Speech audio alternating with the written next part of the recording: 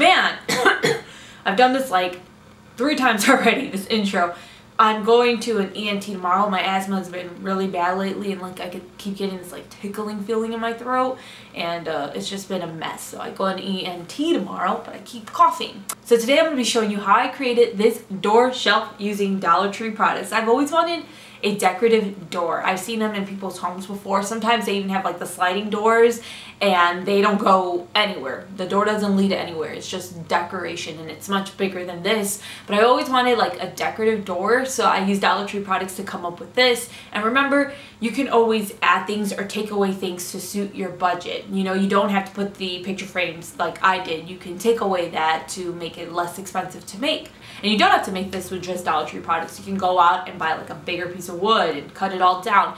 It's just what is your skill level, what is your budget, um, what can you do. Nonetheless, I really hope this inspires you guys. I love this thing. I wish it was a little bit taller, but I ran out of the little like long plaques from Dollar Tree, the white ones, and I didn't feel like painting the black ones white, so I came up with this. So I hope you guys enjoyed the video. If you do, please give it a thumbs up. Let's see if we can get this video to 5,000 thumbs up. Last week I made a fruit basket shelf type of thing using the plaques and you guys loved it and you got that video to almost 10,000 thumbs up. So let's see if we can repeat it with this video. I love this thing so, so much. Also, make sure you're subscribed to my YouTube channel if you're not, and hit the bell button so you're notified every single time that I upload. With that being said, let's begin the tutorial.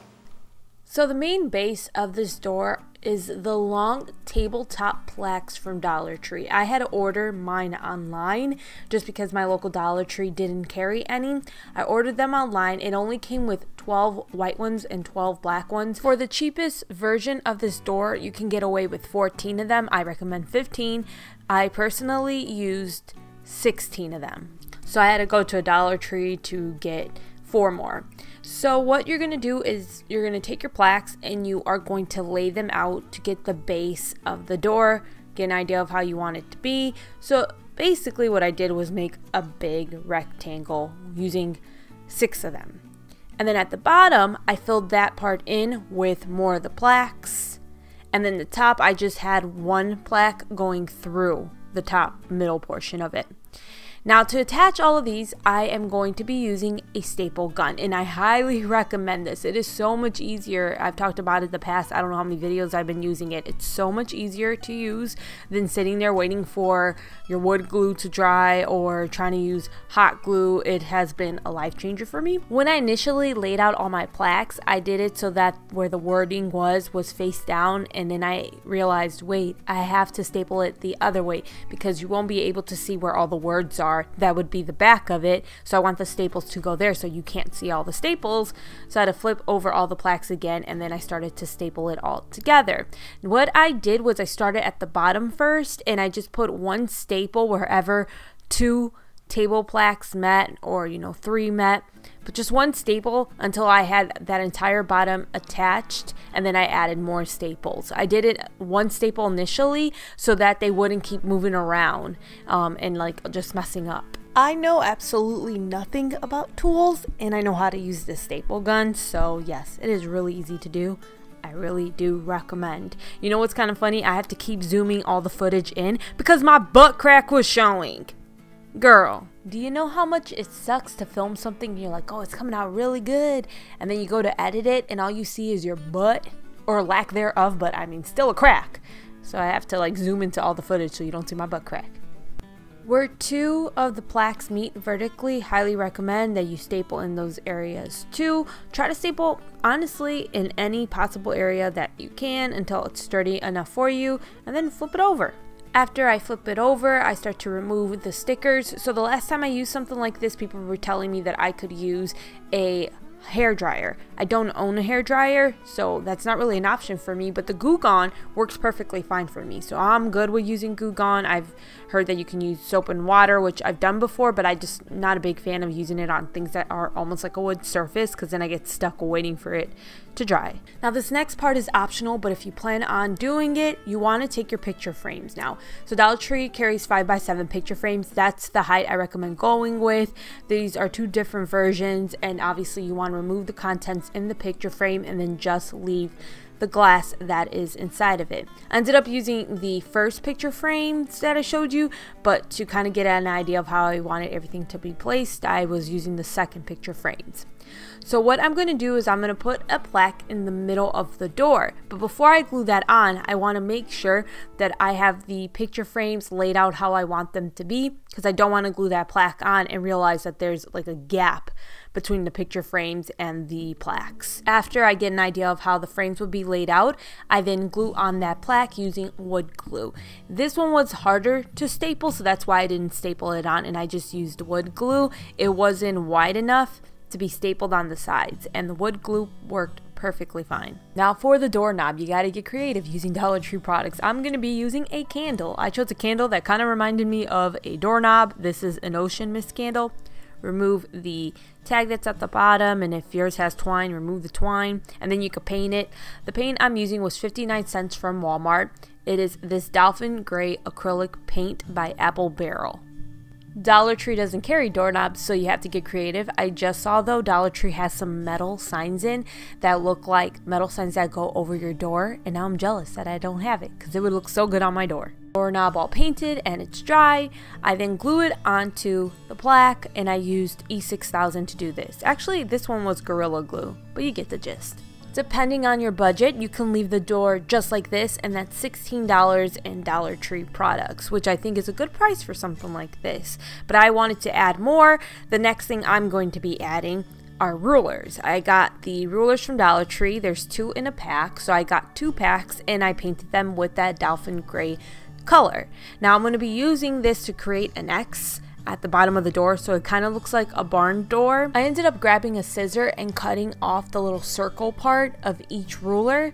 Scissors worked fine for me, cut slowly, and the wood shouldn't split on the side that you're trying to keep. Forgot to mention where the inches are on the ruler you can take that off. It's like a sticker, and I recommend just removing them.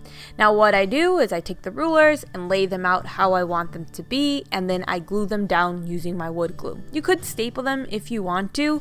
I just didn't want to because I don't want the staples showing at the front of my door.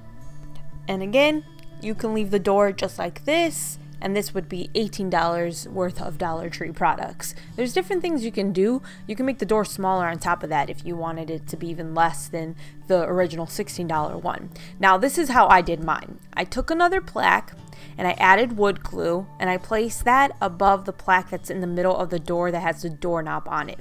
I really, really, really wanted to put two plaques there to make a shelf that was bigger, but I couldn't find another Dollar Tree near me that had more of the white plaques. I kept running into the black plaques. Obviously, you can paint the plaques that are black white, but I wasn't about that life. So now I'm going to be adding on the picture frames. Obviously, you don't have to do this. You can leave it now with just that shelf, and right there it's $19, but I wanted picture frames. So I lay them out, figure out how it's going to be placed on those plaques, and then I add E6000. And honestly, I was adding the E6000 around the edging, the inside edging, where the plaques are because not much of the picture frame actually touches the plaque. If you get glue on spots you don't want it to be on, I recommend removing it right away because it's easier to remove while it's still wet. And I do want to mention this. When I say $16, $17, $18, whatever, I'm referring to how much it costs in Dollar Tree products. Obviously, it's going to cost more because you're going to have to get glue if you don't have it, paint, but with any crafting project, most of the time, you're going to have leftover of a product. So if you get wood glue, you can use it in so many other more crafts because you're going to use barely any here. If you get super glue, E6000, Gorilla Glue, you're going to use a little bit in this project and have a bunch left over for other projects. So yes, it might cost you more depending if you don't have these supplies at your house, but you are going to be able to use those items for other projects in the future. So for me personally, when I say this thing cost me like $18, $17, that that is what it cost me to make because the, everything else I already had on hand and I had left over from other projects. One more thing I can't believe I haven't mentioned yet, you don't have to use a stapler gun. I just recommend it. You could use wood glue, you can use a super glue, Gorilla Glue, E6000 to attach all the plaques together. I just recommend using the stapler gun Now the final thing I did was add some of that dolphin gray paint to my picture frames. I actually had one picture frame that wasn't the same color as the other three, so to kind of blend them all together I added that gray paint. And it also helped blend that top portion with the rest of the door. Just used a paintbrush and if I put too much paint in one spot I made sure I used my finger right away to rub it all out. If you end up doing a white door like I did, obviously you can go over the lettering that's on the plaques with white paint to make the entire door, including the back of it, white.